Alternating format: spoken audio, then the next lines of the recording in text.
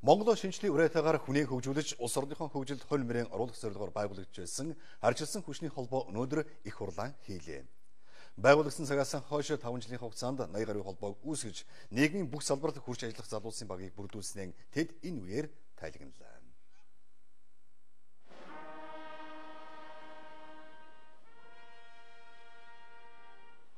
Ардчилсан хүчний холбоо өнөөдөр нийслэлийн 9 дүүрэг 21 аймагт салбараа байгуулсан салбар бүр өөрсдийн амьдарч байгаа орчин болон улс орныхоо хөгжилд тодорхой хувь нэмэр оруулах ажлыг зохион байгуулдаг.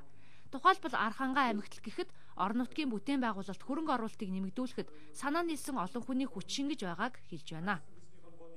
Тэгвэл Арангай аймгийг одоо жишээлбэл цэцэрлэг хотыг 50 мянган хүнтэй хотоор яаж төлөвлөсөн яаж төлөвлөж цэвэрлэх байгууламжаа хийгээд байгаа яаж төлөвлөж э, тэр одоо дулааны станцаа хийгээд байгаа яаж төлөвлөж тэр дэд бүтцүүдийг хийгээд байгаа яаж энэ газраа эргэлтэнд оруулаад байгаа юм болон төслийг одоо юу гэдгийг Аранга аймагт ямар төлөвлөлтөөр ямар одоо зохион байгуулалтаар хэрэгжүүлэх гэдгийг бус аймгийнхандаа бас үлгэр дуурайл болгох гэж ингэж одоо очихоор төлөвлөгдөж байна.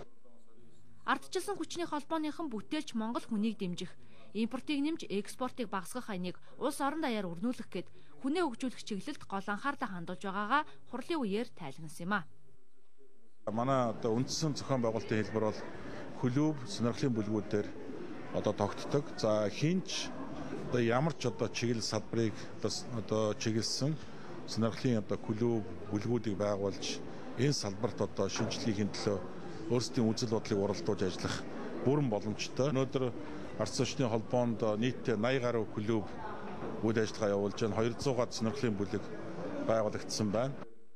Их хуралд аймаг нийслэл орон нутгийн гишүүдээс бүрдсэн 700 гаруй төлөөлөгч оролцсон юм а.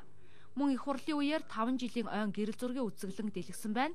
Үүнд бүх аймаг сумдын ардчилсан хүчний холбоод хэрхэн ажилласан тухай дэлгэрэнгүй тайланг гэрэл зургаар илэрхийлжээ.